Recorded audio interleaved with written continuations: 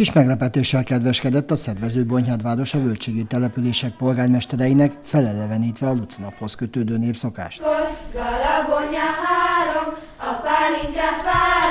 Filoni Ferenc Ibolya Bonyhádváros polgármestere és a Völtségi Kistérségi Tanács elnöke azt mondta, sikerült az évben több kérdésben közösen gondolkodni.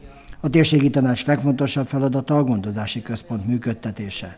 Nagyon sok fontos döntést hoztunk, valamennyi annak érdekében, hogy az itt bonyágyárásban élő embereknek az életét segítsük, hiszen a legfontosabb feladata a társulásnak az a gondozási központ, mint intézmény fenntartása, működtetése, amely rengeteg feladatot lát el szociális területen, de számos olyan közös gondolkodás mentén folytatunk munkát, amely szintén segíti az itt élőknek az életét. Az a megállapítás született, hogy minden az előirányzatok szerint zajlott ebben az esztendőben, és 5 millió forint olyan pénzösszeg is fennmaradt, mely továbbiakban a társulás vagyonát gazdagítja. A gondozási központ a 2022-es évben 318 millió forinttal gazdálkodik, és ennek, ennek a költségvetésnek a terhére rendkívül széles körű feladatot lát el, hiszen a család és gyermekjóléti szolgálatot biztosítja a társulás valamennyi településén,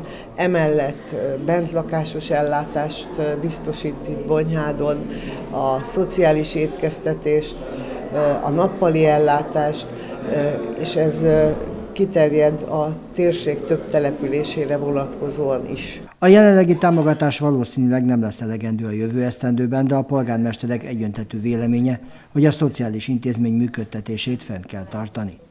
A társulás tagjai megtárgyalták a házi orvosi ügyeleti rendszer jövő évre vonatkozó lehetőségeit, és úgy döntöttek, továbbra is fenntartják a megbízást az eddig a feladatot ellátó orvosi gárdával.